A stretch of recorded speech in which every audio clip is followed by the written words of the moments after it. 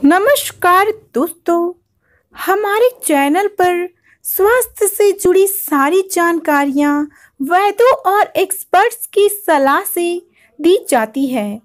क्या आप जानते हैं कीटो डाइट या कीटोजीनिक डाइट क्या होता है? इस डाइट को अपनाकर कैसे हमेशा फिट रह सकते हैं? अगर नहीं तो वीडियो को पूरा ज़रूर देखिएगा बहुत सारे लोग आजकल वज़न कम करने के लिए एक नई डाइट का इस्तेमाल कर रहे हैं, जिसे कीटो डाइट या कीटोजीनिक डाइट कहा जाता है। कीटो या कीटोजीनिक डाइट आजकल बहुत लोग अपना रहे हैं, खासकर इस डाइट को महिलाएँ अपने आप को फिट रखने के लिए अपना रही हैं। ये डाइट शरीर के फैट को बर्न करने में बहुत प्रभावी है।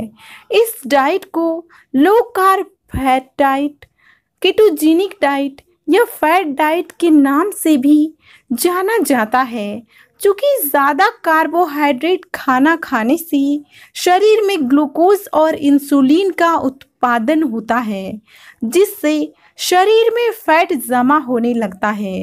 इसलिए इस डाइट में कम कार्बोहाइड्रेट वाली चीज़ों की प्राथमिकता होती है।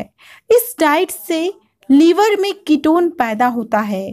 कीटो डाइट में कार्बोहाइड्रेट का सेवन कम करके फैट से ऊर्जा का उत्पादन किया जाता है। इस प्रोसेस को कीटोसिस कहा जाता है। एक अच्छी कीटो डाइट में 25 फ़ीसदी प्रोटीन 5 फ़ीसदी कार्बोहाइड्रेट और 70 फ़ीसदी फैट होना चाहिए।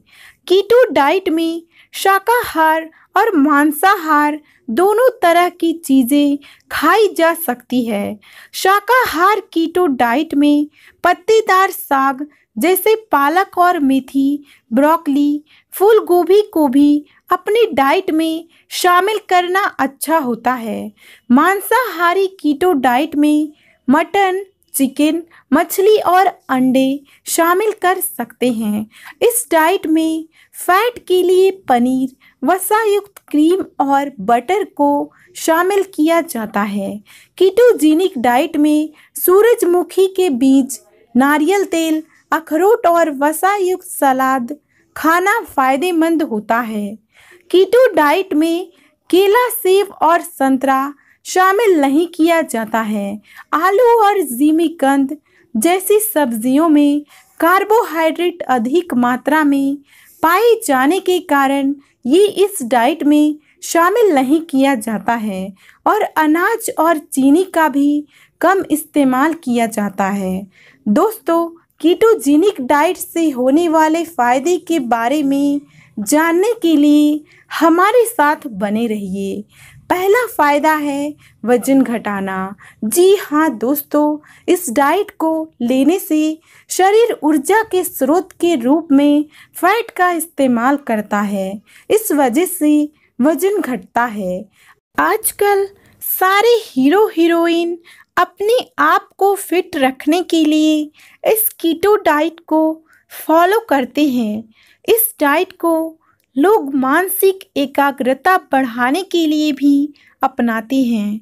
ये डाइट हमारे शरीर के साथ ही साथ मस्तिष्क को भी ऊर्जा प्रदान करता है, जिससे हमारी मानसिक एकाग्रता अच्छी होती है, क्योंकि इसमें कार्बोहाइड्रेट और शुगर कम मात्रा में लेना होता है।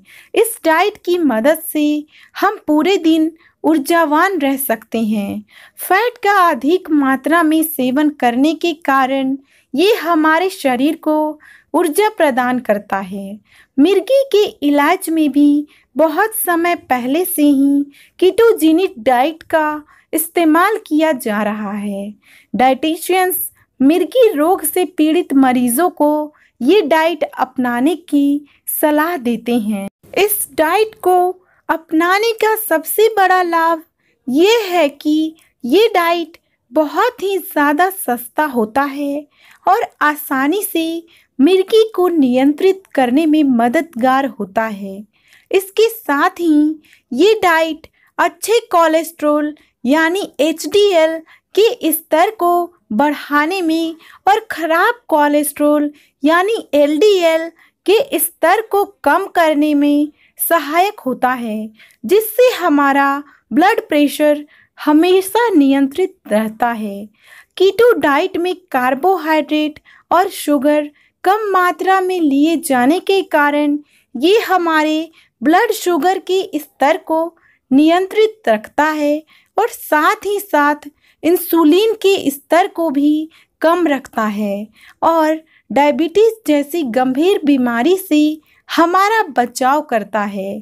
कीटो डाइट लेने से त्वचा में भी धीरे धीरे अपने आप सुधार होने लगता है और जिन लोगों को बहुत ज़्यादा कील मुहासे होते हैं, उनकी त्वचा की सुधार के लिए ये डाइट बहुत फ़ायदेमंद होता है।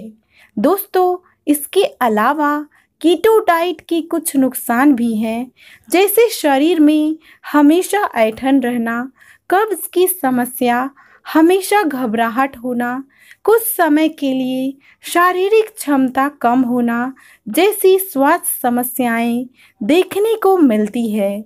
अगर आप जानना चाहते हैं कि एक मंथ में कीटो डाइट से कैसे वज़न कम किया जाता है तो नीचे कमेंट करके मुझे बताइए, ताकि मैं वज़न कम करने के लिए एक कीटो डाइट का वीडियो आपके साथ शेयर कर सकूँ।